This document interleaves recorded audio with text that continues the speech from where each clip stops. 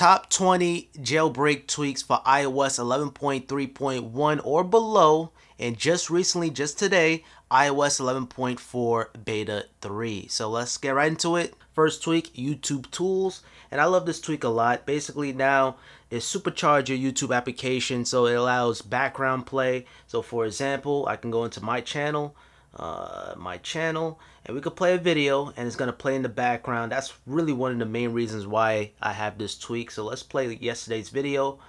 So, uh, ladies and gentlemen, boys and girls, the iOS 11.3 and it's playing in the background. Jailbreak has officially launched, and I'm here to give you guys a quick little tutorial. And you could pause it, you can skim through it, you could do whatever you like, and that's really why I like to use it for. It. But there are some settings to configure if you want. So if I go into my settings, YouTube tools, you have some settings right here. So playing background, you can disable the ads if you like. I like to support all my fellow YouTube creators out there, so I really don't recommend that. Support your creators. It takes a lot of time.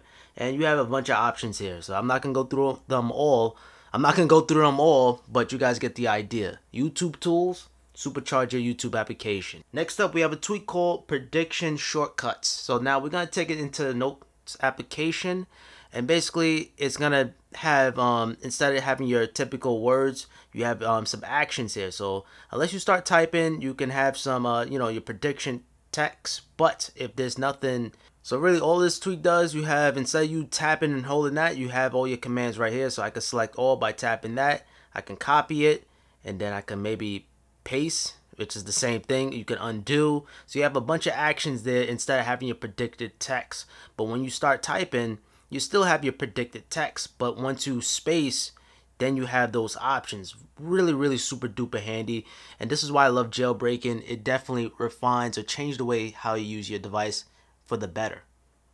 And since we on the keyboard, I may as well show you guys this. This is called Barmoji. And basically all it is, it just takes your recently used emojis and put them down below. So it's not that much wasted space. It, you know, now you have something there. So I kind of look at this as like the MacBook Pro touch bar. It works.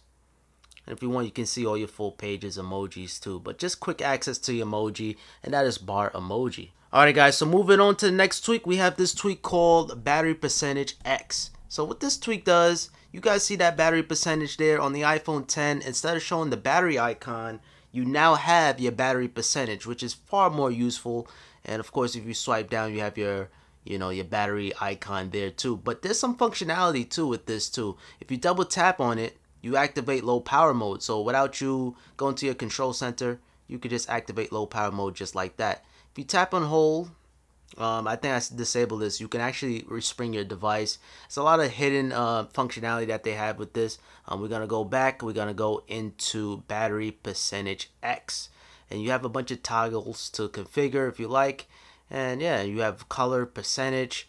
And fun little fact: if your battery is low, this text will turn red and as you guys saw earlier it'll turn yellow if it's on low power mode. By the way to set up my iphone i just exposed myself. I'm using this mask to stand it up. I need to get one of those docks but bear with me. This is just what i can do right now to stamp the device.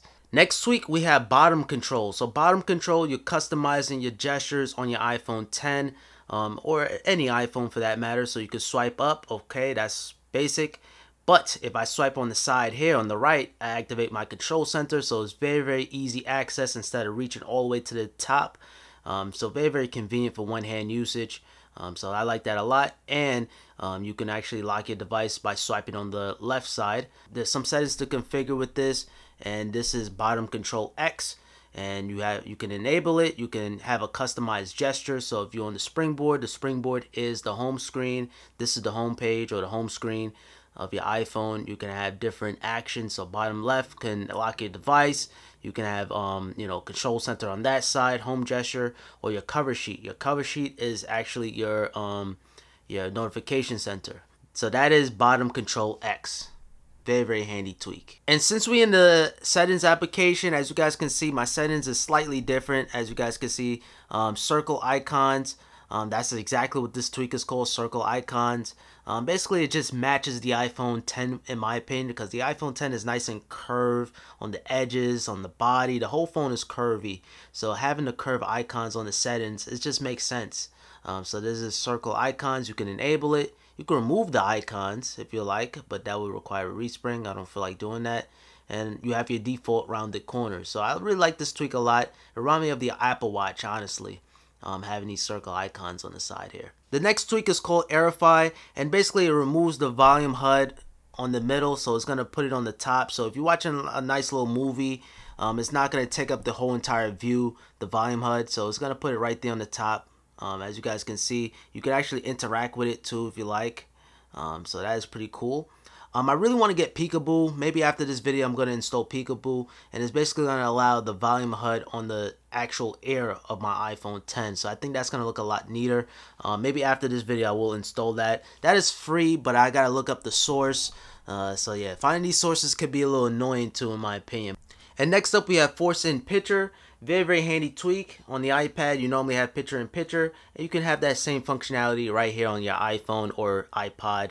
And basically, you could tap on this. It's a free tweak. And it's to pop out the video just like that.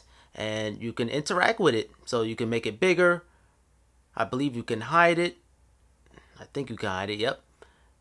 Yeah, so you can do whatever you want. You can go on Instagram and you can do whatever while you're while you're watching that movie on the top there. So that's pretty cool. All right, next tweak is very, very handy, and I don't know why Apple did this. Um, this is called Real CC. So now when you tap on your Wi-Fi, you can turn on and off your Wi-Fi signal. Now, normally on normal iOS, it's going to temporarily temporarily disable the Wi-Fi. So it's not going to really turn it off, but this time with Real CC, it actually turns off your Wi-Fi. So no Wi-Fi is ticked on. So if I can go into my settings, uh, like a 3D touch, I can go into Wi-Fi and it is off. And if I turn it back on, it'll be back online. Now next up, I'm pretty sure you guys saw this. Um, this is called Noctis. So basically, it, it makes the UI dark. So you have your um your 3D touch platter here. That's dark.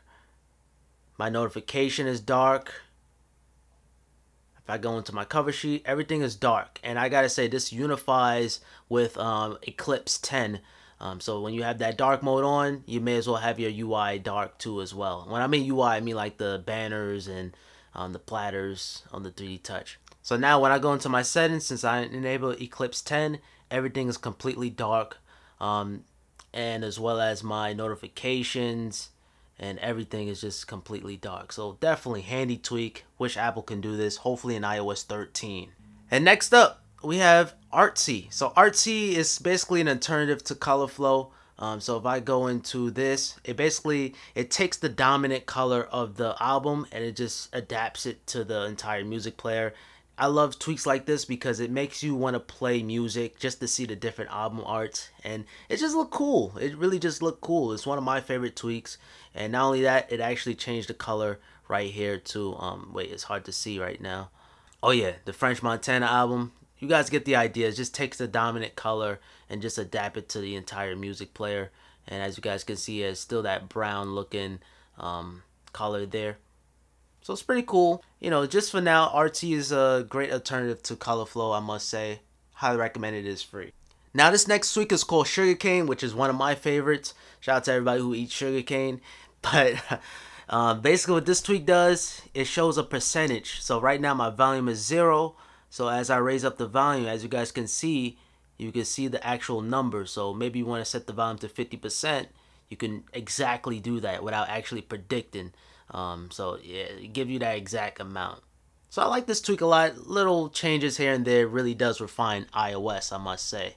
Next tweak, I highly recommend this one. This is called Tweak Compatible, and this is a Cydia tweak.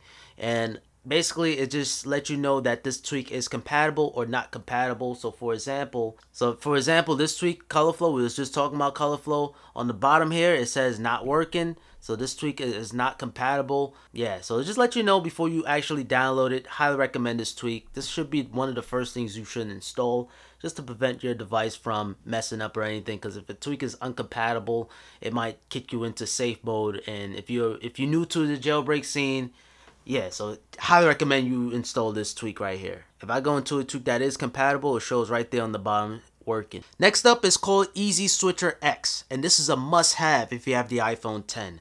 Um, don't you find it annoying? You tap and hold an app icon and you have to wait for the red dots. Well, with this tweak, You just swipe up to kill all your apps. Next up, we have Pearl Retry. Now, this is exclusively to the iPhone 10. Basically, it's gonna, you know, set a limit. So normally when you scan it with Face ID, there's like a limit. It's like a delay. So as you guys can see, retry delay in seconds. So every 10 seconds is gonna always scan your face on the lock screen, of course. So, um, so you know, there's like a delay. There's like a gap sometimes with iOS, but with this, you can actually customize that delay. Um, you can't do no seconds, so I did 10. And overall, this tweak just makes your Face ID much more faster. Well, scans much faster. Alright guys, so next up, a very, very simple tweak. This is called Hide Bar X. So on the iPhone 10, it get rid of that, got tongue tied. It gets rid of that um home bar on the bottom there. So if I go into the settings application, there's no, you know what I mean, that little home bar, that little white line that you guys normally see, it is gone now. Because you already know, you know how to use an iPhone 10. So that bar, it is gone on every single application, Safari, everything. And next up, we have a tweak called No More Small Apps. So once you jailbreak your iPhone 10, for example, you notice the Cydia is small. All it is is just going to make the Cydia fit within your iPhone 10 and really not just Cydia just any app that is not supported with the iPhone 10 is going to enlarge it is going to fit with the iPhone 10's display. So I highly recommend this tweak. Next up we have a tweak called iCleaner iCleaner is a staple tweak. I highly recommend you guys install it and all it is is just gonna clean up all the junk on your iDevice. So stuff that's taking up a lot of space, you could free up to like I've seen stuff like uh 10 gigabytes, 8 gigabytes. So it's a lot of space that you may have like unwanted space. I'm not gonna have much because I literally just did this yesterday, so I'm probably not gonna have too much. And as you guys can see there, next up is Fast Unlock 10. So basically all it is, instead of swiping up all the time, your phone is automatically gonna unlock just like that. So I didn't swipe up. Let's try that again. So much faster. Pair that with Pearl Unlock, and that it is instant. So I'm behind the camera, so it's not getting it all the time because this big camera is in front of me. But it works every single time, and it's just no need to swipe up. Now, if you have a notification, uh, you know what? I'm gonna play music. They count that as a notification. Um, I'm gonna play some music. So fast unlock is not gonna work if I have this music uh, notification here or this music banner here. Um, so yeah, so it's pretty very very good though I must say very very good, and I don't mind that at all.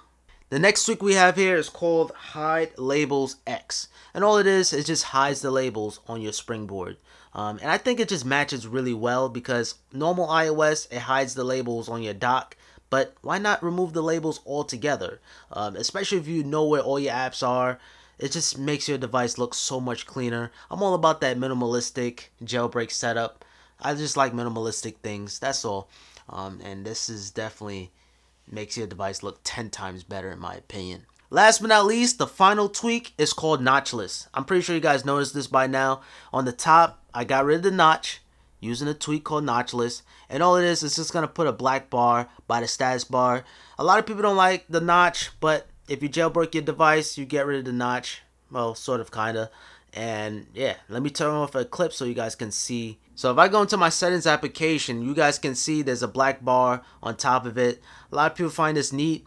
Uh, when you're watching a YouTube video, you're still going to see the notch. Damn, people are still popping fireworks uh, and really just throughout the entire um, system interface. And here's the Safari application so you guys can see the black bar.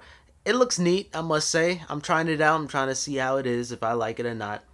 And that's pretty much all the tweaks that I have installed right now on my device. Oops. And me, normally, I'm all about the functionality when it comes down to jailbreaking my device. Things I would use. Subscribe if you're new around here for more Apple related content and just more other awesome stuff on this channel, man. And click on that notification bell, drop a like on this video, follow me on Twitter and Instagram, and I catch you guys in the next video. I'm gone.